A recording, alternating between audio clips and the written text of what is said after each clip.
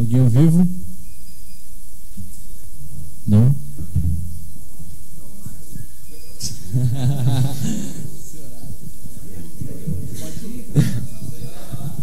Tudo bem, André? Boa tarde. Tudo bem. É, queria primeiro que você falasse é, dessas últimas semanas de trabalho em preparação para o jogo com o Cruzeiro e com o que vocês estão carregando da semana passada para cá. De que maneira o Corinthians vai chegar, até emocionalmente, para o jogo que vai definir o futuro de vocês para o ano que vem? É, emocionalmente, acho que o que aconteceu abalou a todos, né? Realmente foi uma semana muito triste. É, não tem como é, tirar isso de nós, os sentimentos nossos dos atletas, é, também da parte da imprensa. Realmente é uma tristeza muito grande de todos. É, a gente sabe que o trabalho tem que continuar, cada dia essa ferida vai cicatrizando, a gente sabe que vai demorar, mas temos que, que, que seguir adiante e para estarmos fortes no dia, no dia 11.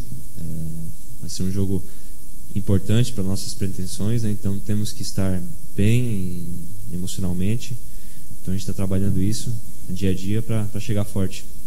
E, e, o jogo com o Cruzeiro né, define a classificação para a Libertadores, e, e, essa classificação, nas palavras dos próprios dirigentes, uh, vai determinar o tamanho até do investimento que vai ser feito no futebol do Corinthians no ano que vem. Vocês sofreram muito em um ano complicado aqui. Para ter um ano melhor, passa muito pelo trabalho de vocês domingo. Vocês têm a noção da, da pressão que isso representa para o jogo? É, sabemos da, da, da importância do, do jogo. É, estamos confiando muito numa, numa, vitória, com a ajuda de resultados. E sabemos também o quão importante vai ser o ano que vem com a Libertadores. Né? A gente sabe?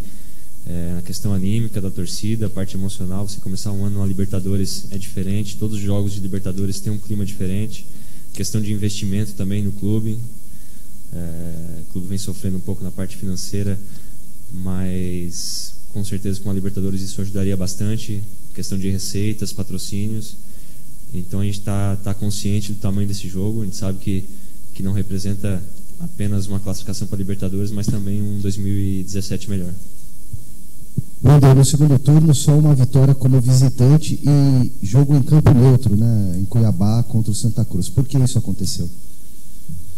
É verdade, realmente deixamos a desejar, desejar no segundo turno, tanto fora quanto em casa também. Tivemos muitos empates em casa que, que se tivéssemos vencido estaríamos numa condição melhor. É... Mas temos um jogo, é uma final, né? Temos que encarar dessa maneira. É, foi um ano atípico para nós, né? Todos sabem, troca de treinadores, de elenco, muitas mudanças. É, mas chegamos na última rodada vivos ainda por, por essa vaga na, na, Libertadores. Então a gente está tá, tá confiando nela. Além de, dessa questão de 2017 com mais investimentos, se a, Libertadores vier, é, também é mais fácil segurar jogadores aqui, né? Nomes como você, Rodriguinho, Fagner, tem sondagens é, até a Libertadores serve para segurar o que de bom tem aqui no Corinthians hoje? Ah, Corinthians vai ser grande com ou sem a Libertadores, né? Então, não sei, fala por mim, não seria uma Libertadores que, que eu pensaria em sair ou não, né? Porque o Corinthians vai continuar sendo grande. Sabe que é uma, uma competição importante, de, de que, no, que nos vai dar uma uma visibilidade muito grande, um torneio internacional, mas não sei, não acredito que seja esse o fator fundamental que vá tirar algum jogador aqui do clube. Agora, além para conseguir essa vaga, além de vencer, precisa secar os adversários. Vocês vão estar ligados aí nos jogos de Flamengo e Atlético Paranaense, Botafogo e Grêmio? A gente vai tentar fazer o nosso nossa parte primeiro, né? Temos que vencer. Vai ser um jogo difícil contra o Cruzeiro. O Mano sempre arma boas equipes. É, tentar vencer. A hora que acabar o jogo, que a gente vai se preocupar com o resultado do, dos outros, né? Claro que a gente vai depender deles. Então, acabando o jogo, com certeza a primeira coisa que a gente vai perguntar é o que, que deu o outro jogo para saber se deu tudo certo. Aqui no centro, Ender, como é que você analisa a rodada, então, o jogo de vocês e do Botafogo e também do Atlético Paranaense? Quem está com uma situação de repente menos complicado? Como que você vê essa luta toda por essa vaga? Então, são três jogos.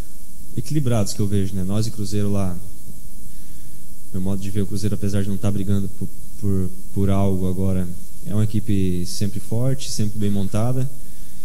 É, não sei o quanto vão estar determinados realmente para um jogo, concentrados, focados, mas a expectativa é que seja um, um jogo difícil. O jogo do Atlético Paranaense Flamengo na Arena é sempre complicado ganhar do Atlético Paranaense lá, mas a gente confia também na, que o Flamengo vai fazer um bom jogo, tem uma boa equipe, vai querer terminar em segundo. E tem o jogo do Grêmio e Botafogo, né? a gente não sabe o que vai acontecer com o Grêmio é, na quarta-feira agora. Pode ser um jogo que o Grêmio vá comemorando um título ainda ou, de, ou com, com, a perda de um título em casa. Então isso pode afetar um pouco também a parte anímica do Grêmio. Mas a gente confia que sejam, sejam três jogos difíceis, equilibrados e que tudo pode acontecer. Wendel, boa tarde. Quando o Tite estava aqui, ele falava muito na questão do merecimento. É, o Corinthians acabou oscilando bastante nesse campeonato brasileiro, deixou de, de, somar pontos importantes dentro de casa. Na tua opinião, o Corinthians merece essa vaga na Libertadores de 2017? Ah, se a gente terminar entre os seis é porque merecemos, né? Porque fizemos, fomos melhores que outras equipes. Claro que o nosso futebol oscilou muito, né? Como você falou. É, chegamos a estar na liderança do campeonato, fizemos grandes jogos, é, mas também tivemos perdas, né? Muitas trocas de jogadores importantes saíram é, e também treinadores, né? Muda-se a filosofia, não é tão simples assim para as coisas encaixarem. E mais importante o fato que a gente está vivo na competição, né? A gente sabe que ficou aquém em alguns momentos, na, é, principalmente no retorno, a gente deixou a desejar é, principalmente no começo do retorno, acho que perdemos muito, muitos pontos em casa, empates contra é, Figueirense, São Paulo, própria Chapecoense. São pontos que, que nos custam agora, né? Poderíamos estar já classificados para essa Libertadores. Mas a gente sabe que o Campeonato Brasileiro assim é difícil. A questão de merecimento é difícil falar, né? Merecimento no futebol. Se a gente chegar em sexto é porque merecemos, se não é porque não merecemos. Wendel, é, é moda aí agora nos clubes, praticamente só treino fechado e tal, dificilmente os técnicos revelam os times. E aqui tem sido um pouco diferente. O Oswaldo não faz muita questão de fazer mistério, já praticamente aí definiu o time para esse último jogo. Isso deixa vocês também mais à vontade? É melhor também para o jogador? Ah, quando tínhamos os treinos fechados, né? A minha posição era que para nós é, é, é indiferente para o jogador, né? A questão de, de, de concentração para um treino, que a gente quase não percebe a imprensa, né? Para nós tem imprensa ou não tem imprensa, porque a gente está sempre bem focado nos treinos, a imprensa permanece sempre é, num canto ali, respeitosamente em silêncio também. Então, para nós jogadores, não muda nada essa questão do treinamento em si, né? Muda mais é é a filosofia do treinador. Às vezes tem um treinador que quer esconder algumas, alguma situação de um jogo, é, quer treinar alguma situação de, de, de bola parada diferente. É, mas vai mais da filosofia né, do treinador mesmo. Às vezes tem treinador que não se importa, tem treinador que se importa. É, Para nós é indiferente. Como é que foi a experiência no meio de campo e agora voltar para a lateral? Ah, gostei. Foi, foi um jogo que estávamos com muitos desfalques. É, o Oswaldo perguntou durante a semana se, se eu poderia fazer essa função, se eu me sentiria bem. Eu falei que, que sim, que estou aqui para ajudar, independente da, da função. É, é uma posição que requer outros atributos, né? Você recebe mais bola de costas. É, diferente de lateral, lateral você está sempre de frente para o campo, né? Então é, muda um pouco os movimentos, é, o tipo de passe que você dá, a própria movimentação. É, começo me senti um pouco preso, mas depois é, fui me soltando, achando espaço dentro de campo. Acho que foi uma experiência válida. Você acha que você vai voltar a trabalhar assim de alguma forma? Você acha que, que pode ser melhor trabalhado? Você tem interesse em trabalhar também assim? Ah, nunca foi a minha pretensão, assim, até porque o clube tem bons jogadores nessa posição e é uma situação, foi uma situação atípica, né? A gente perdeu bastante jogadores naquele jogo, tinha jogador machucado, jogador suspenso. E o Oswaldo achou melhor optar por mim no meio. Mas, como eu disse, a gente está sempre aqui para ajudar em qualquer, qualquer função, qualquer situação. É, se precisar novamente, claro que, que estarei apto. Você acha que pode pintar alguma coisa para você sair no fim do ano? Porque você e o, acho do time titular, você e o Fagner são jogadores hoje mais valorizados até pelo tempo de casa. Você acha que isso pode acontecer? Você tem algum indicativo disso?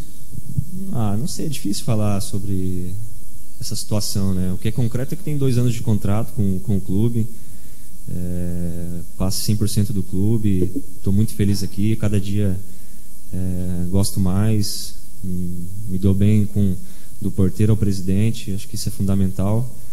É, para ser sincero, hoje não me vejo longe, longe do Corinthians para sair daqui, só se realmente o clube quiser que eu tenha novos ares, que não sei, não sei que o clube pensa de mim para o ano que vem, mas é, só se fosse uma situação que o, que o clube realmente é, desejasse, né? Por mim, eu continuaria aqui com o maior prazer do mundo vestindo essa camisa.